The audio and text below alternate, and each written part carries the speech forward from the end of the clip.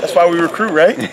Shoot, so we just don't depend on one guy. No, um, hate that anybody, you know, isn't able to yeah. participate because of, you know, something that happened. I like that he took took responsibility and, uh, you know, now it's time to move on. You know, he knows that he needs to move on and, and uh, make improvements so that he can play with us next year. And we know that we need to move on because Texas, Nevada, Michigan State don't care who lines up a tight end. You know, that, that's him, though. He's passionate. You know, you can see that. He loves Notre Dame.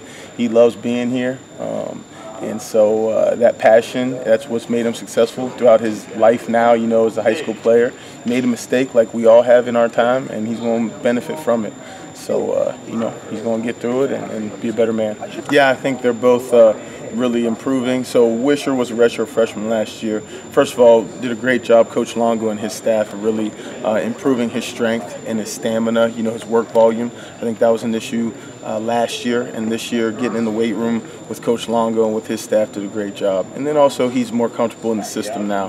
He's a guy that, you know, is, is year two in our system, and uh, he's, he's comfortable. Durham, um, you know, quite frankly, I mean, recruiting Durham thought that he was an elite tight end, and uh, his arrow was pointed up last year um, during camp.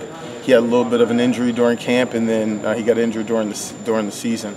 This year, he stayed injury free. He's been productive during uh, during our uh, our 13 practices, and uh, look forward to him continuing to be productive. I think he's a mature guy, mature body um, that can do a lot of things for us.